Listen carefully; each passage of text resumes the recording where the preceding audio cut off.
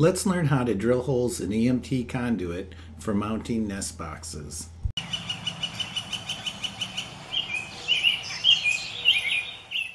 This is Jeff with the Backyard Birds channel.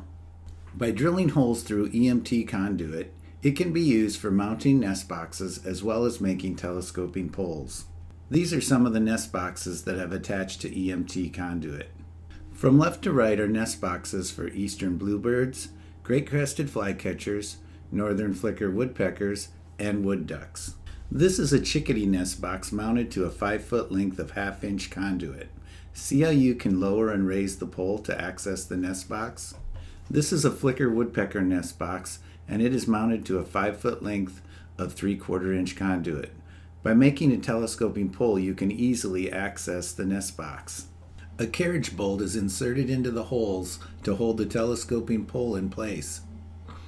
If you like videos like this, consider subscribing to my channel.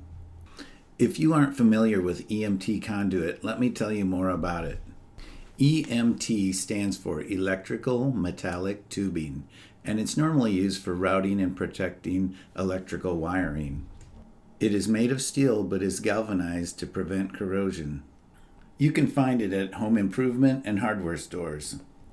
I usually buy it in 10 foot lengths and cut it to the sizes I need, but some stores will cut it for you.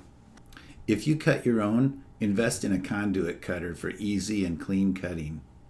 The sizes I use are half inch, three quarter inch, and one inch. The different sizes can be combined to make telescoping poles.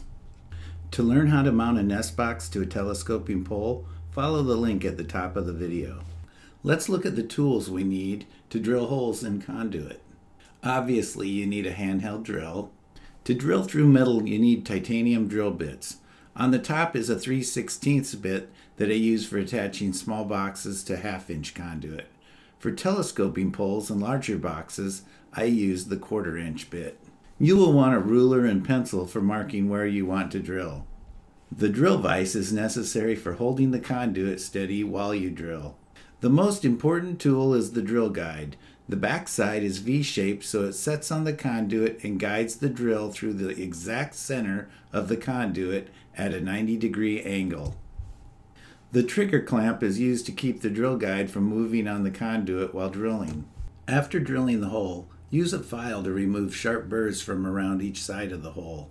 When you are done drilling, use a shop magnet to clean up the shards of metal produced from drilling the hole. You can find links to all of the tools in the video description. Before we drill, mark the conduit where the hole should be drilled. Place the conduit into the vise with a section to be drilled sticking out and tighten the vise. Place the drill guide on the conduit where you plan to drill. In this case, we are drilling one inch from the end of the conduit. Clamp the guide to the conduit to hold it in place. Place the vise and conduit on a block of wood on the ground. Put your foot on the vise to hold it in place. With the proper bit in the drill, insert the bit into the hole of the drill guide and begin drilling. Remember to drill at a low speed when drilling through metal.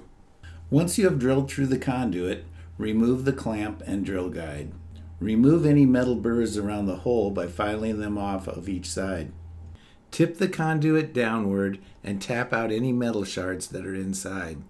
To finish, place a plastic bag over the magnet and pick up the metal shards. The bag, along with the shards, can be removed from the magnet and thrown away. Let me share some lessons I've learned from using conduit for mounting nest boxes. I've learned that it is nearly impossible to drill a hole through the center of a piece of conduit without using a drill guide. I used to use a drill press and it worked fairly well, but it was still more difficult to get perfectly centered holes. The metal shards produced from drilling through conduit are dangerous.